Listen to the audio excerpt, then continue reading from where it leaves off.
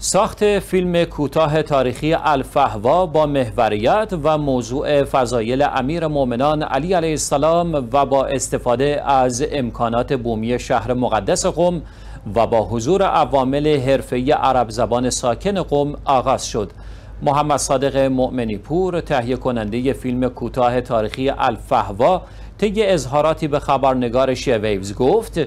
این برای اولین بار است که در این سطح کاری و با حضور عوامل حرفه‌ای عرب زبان از جمله بازیگران، کارگردان، نویسنده، مدیر تولید و دیگر عوامل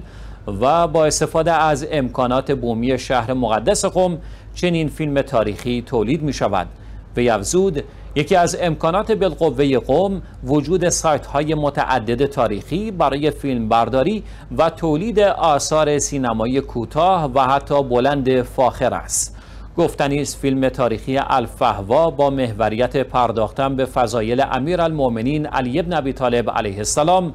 با تهیه کنندگی محمد صادق مؤمنی پور و کارگردانی محمود احمدی و نویسندگی احمد سیمری و فیلم برداری مجتبا پرگر و مدیریت تولید فاضل حائری خواهد بود.